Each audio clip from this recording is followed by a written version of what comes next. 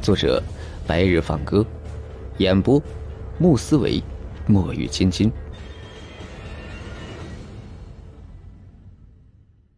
一千九百五十三集，在大胖看来，张凡很可能真的有让他妻离子散、负债累累的能力，这可不是大胖想要看到的。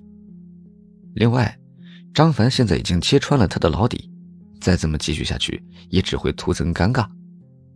只见大胖把头抬起来，朝那两名朋友招了招手：“过来，扶我一把。”听到大胖的话，那两人急忙朝着大胖的方向走了过来，然后把大胖肥胖的身躯给扶了起来。起身后的大胖面带痛苦的轻轻活动了一下胳膊，而后缓缓的凑在张凡跟前，满脸堆笑的在张凡耳边小声说：“小先生，咱……”咱换个地方聊吧。可以。张凡的目的是想从大胖口中获取一些青鸾村的情况，他并不想为难大胖。随后，几人便在众多食客的目光下离开饭店。在距离饭店十米左右的位置，有一间咖啡厅。几人在咖啡厅里面坐了下来。不过，大胖并没有让他那两个朋友坐在一起，而是把两人支到了距离他们所在位置很远的地方。很显然。大胖并不想让他那两个朋友听到他们之间的对话。小先生，您，您是怎么知道那个事儿的？哪个事？就是，就是关于我老婆的事儿。你问这个干嘛？据我所知，知道我发财详细情况的人只有我和我老婆，还有那两个男人。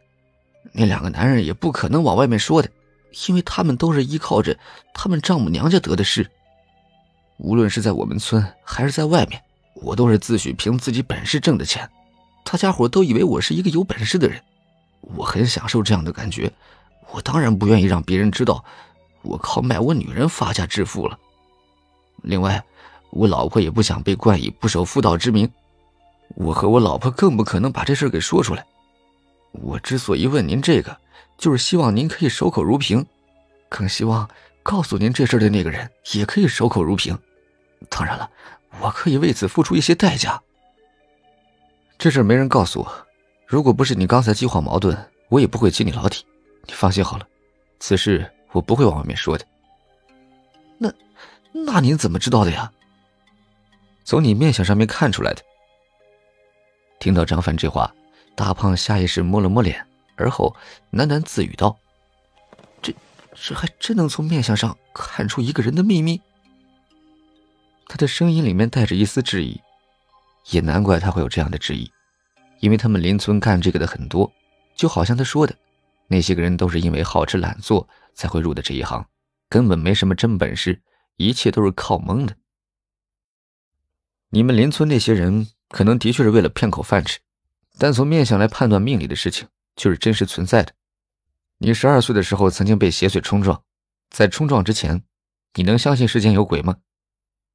此话一出，大胖猛地抬头，惊骇地望向张凡。张凡说的很对，他十二岁的时候的确是曾经被邪祟冲撞过。此刻的他已经是彻底相信了张凡说的话了。我没时间跟你瞎耽误功夫，跟我说说你们村的情况，挑着那些个你觉得比较奇怪的事情说。哦，好的。我们村一共有四百户人家，一千两百多口人。主要是搞皮毛动物养殖的，和别的村子相比，发展的还不错。当然了，我不搞那个，我是在外面承包工程的。当然了，我包的那些个活都是我老婆给我弄的。简重要的说，啊啊，好好好，在我的印象里，我们村一共发生过两件奇怪的事。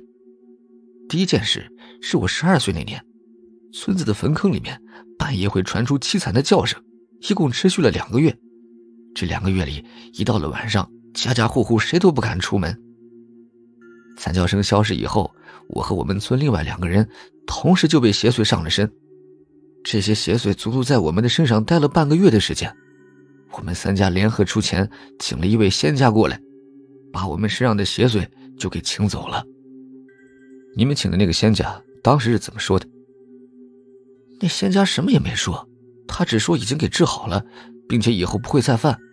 我们也不敢多问，这事儿也就不了了之了。不过后来还真如那仙家所说的一样，我们三个再也没有被冲撞过了。听到这里，张凡再次的在大胖的脸上打量一眼。面对此刻张凡的眼神，大胖的心里面空落落的，有些发虚。他觉得如今的自己就好像是一个没有穿衣服的人，在张凡的面前，张凡可以把他的一切都给看穿。那两个和你一起同样遭遇冲撞的人都是什么年纪？一个比我大十二岁，另外一个比我大二十四岁，我们都是同一个属相。听到大胖这话，张凡面露思索之色。萧冲问道：“先生，我没听说过这属相有什么讲究啊？您听说过吗？”我也没有听说过，但我感觉此事跟属相应该有所关联。说到这里，张凡声音一顿，继续说：“也不一定是这样。你想啊，这一千两百人的村子，应该不会只有一个比他大十二岁和大二十四岁的人呢。嗯，这倒也是。”等咱们进村以后，得见见这两个人呢。没错，是得见一下。听到张凡和肖冲的话，大胖睁大了眼。几位是准备要去我们的村子？哦，有可能会去，也有可能不去。张凡并没有把计划如实相告。大胖听了，拍着胸脯保证：“啊，几位如果要去我们的村子，一定要找我，我一定好好的安排几位。”呃。不过嘛，感谢你的收听，喜欢的话，请记得点赞留言。